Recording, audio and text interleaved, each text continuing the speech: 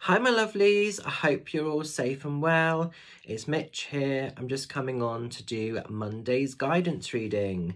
Just want to say before I conduct this week's reading, thank you so, so much to everybody that came to support me on Saturday at um, a new sort of venue that I'm offering readings from, which is Rowan's um, Closet Arcadia in Swindon. Oh my God, it is an amazing space.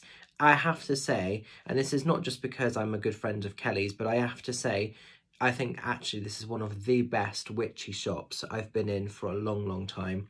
And it was so lovely that the space that's been created for the readers is a really private area because sometimes with shops they can be a little bit hit and miss in terms of space. But, you know, everything was sort of around lovely curtains. It was all very concealed. So thank you so much, um, Kelly, for creating an amazing space, a beautiful shop, really, really powerful energies in there.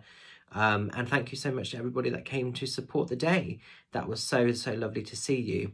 Um, just to let you know that I am going to be back there next month. So I'll be back there on the 8th of July and spaces are already getting booked up quite fast.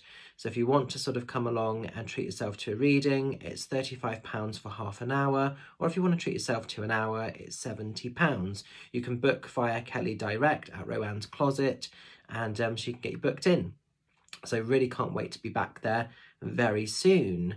So with that in mind, I thought that this week I would work with a witchy deck because I'm feeling really witchified after being in there on a Sunday, uh, sorry, Saturday. So I'm going to be working with the Everyday Witches Tarot by the lovely Deborah Blake. And this is one of my absolute favourite decks. So let's have a little look and see. So these are the cards. So let's give them a little knock. Let's give them a little shuffle. Let's see what we need to know about for this Monday and the coming week ahead.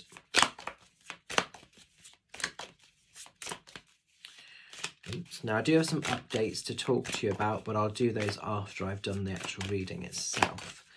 Um, I'll focus on doing the reading first.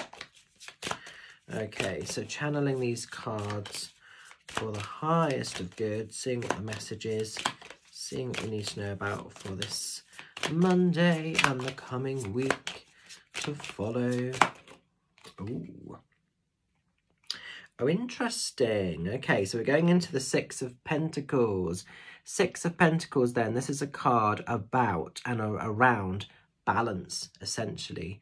Balance. So because it's pentacle related, it's making sure that you're giving to the right types of experience, that you're giving to the right types of people, that, you know, nobody is almost taking advantage of your good nature, certainly from a financial space.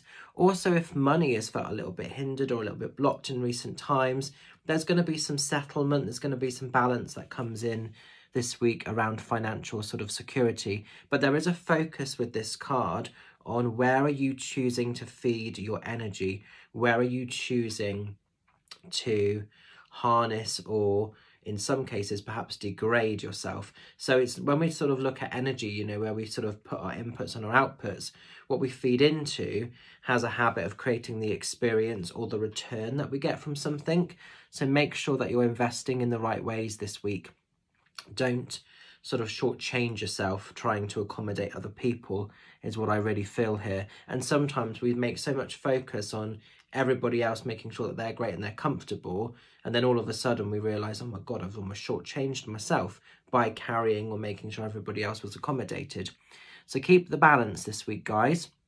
And by doing that, the pentacles will reward themselves. So as we sort of look in this card, it's almost like she's giving over to this person that, you know, looks reasonably okay, whereas this one almost is wanting some help and is a bit more in need of it.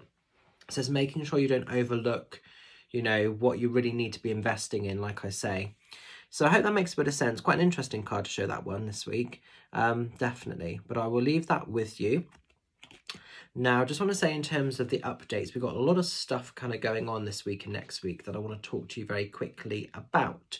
So this coming Thursday, I am back at the Rookery Retreat in Weston-super-Mare, and I will be doing my witches seance. I have two spaces left for that. So if you're wanting to come along, this will probably be the last seance that I do for quite a while down there because then I'm going to have a little bit break as it's just getting a bit too hot really to sort of be doing too much of that at the moment. So if you want to come along, it's £50 for the evening. Drop me a message, let's get you booked in. And then I'll be back down on Saturday in Weston-super-Mare doing my um, evening of mediumship at Blagdon Community Hall. So I'm really looking forward to that. That's going to be an amazing night. Um, some tickets are still available for that. So if you want to come along and see me do a demo of mediumship in Weston-super-Mare, pop over to my website and you can book the tickets directly. It'd be great to see some of you lovelies there. Teas and coffees will be available on the night and I think there's also going to be some cakes available. So that's going to be a lovely, lovely evening with Spirit. Then the following week, I'm going to be in Glastonbury on the 24th. Now, a few people have been panicking and messaging me and saying, oh, is that going to be on still? because the Glastonbury Festival is on. Now, when I booked that initially, I didn't actually realise that that coincided with Glastonbury Festival. I actually thought I sort of did it so it avoided it, but obviously not. But I've spoken to the venue. He's reassured me that there will be no problems in terms of being able to get to the, the venue. So there are going to be some sort of security sort of people in place. So it might be a case of you just have to literally say, I'm going down to the village hall, there's an event on. That's all you're going to have to do and all you're going to have to say. But you will still have access to to get to the village hall because that's what some people have been panicking about. And, um, oh, excuse my dog if you can hear him barking.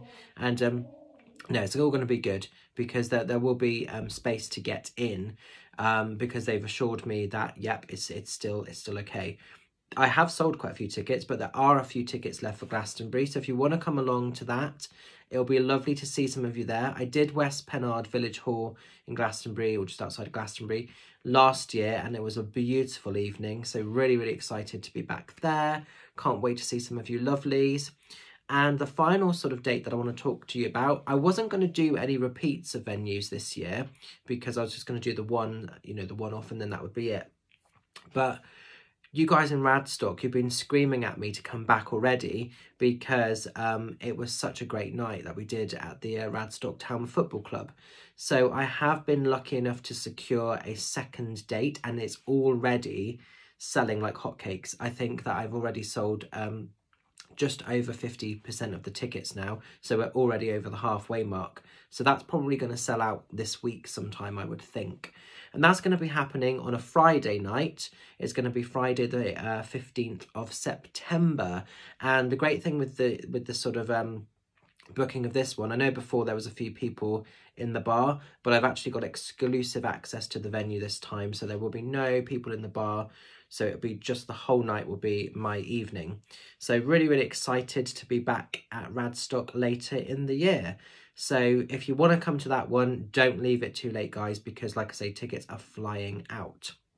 So thank you so much if you've been supporting the tour. Those are some of the upcoming dates. We've also got loads of others on the website. So get booking your tickets. It'd be great to see some of you lovelies at the various events.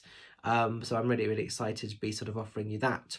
And like I say, to go back to this week's card with that Six of Pentacles, just be cautious, just be careful where you're investing, where you're putting your money. And a lot of people I'm talking to in readings, that's coming up quite a lot actually about energetic reinvestment. And with the Pentacles, it's not always just about our own finances it's how we see ourselves. So it's almost like seeing ourselves as currency and seeing ourselves as like energetic revenue. And where are we investing that? Are we putting that to good use or are we getting abused by people? And if we're getting abused by people, just put those sort of uh, boundaries in place, just put those changes in action to keep everything more on your terms. So that's the message this week. Going to leave it with you. Stay well, stay safe, stay fabulous, and I'll look forward to seeing some of you lovelies this week on Facebook or Zoom and at the various Weston events that we've got. Two Weston events. How exciting. So I'll leave it with you. See you soon. Love and blessings. Bye for now.